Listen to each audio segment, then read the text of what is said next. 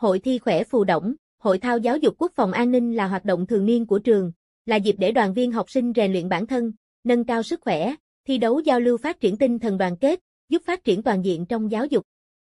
Năm nay hội khỏe phù động, hội thao giáo dục quốc phòng an ninh được khai mạc tổ chức từ ngày 6 tháng 10 gồm các nội dung bóng chuyền nam, bóng chuyền nữ, chạy 1.500m nam, chạy 800m nữ, đội ngũ đơn vị, 10 người, tháo lắp súng tiểu liên AK, chạy vũ trang.